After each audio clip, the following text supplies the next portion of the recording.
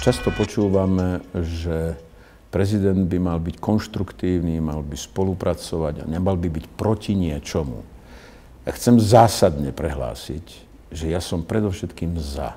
Za spoluprácu, za konštruktívny prístup k všetkým ústavným činiteľom a za to, aby u nás pokračoval pozitívne rozvoj demokracie. Som za to, aby prezident vykonával svoju funkciu tak, ako mu to káže ústava a zákony. Som za to, aby prezident hovoril vtedy, keď má hovoriť a radšej mlčal o veciach, o ktorých hovoriť nemá.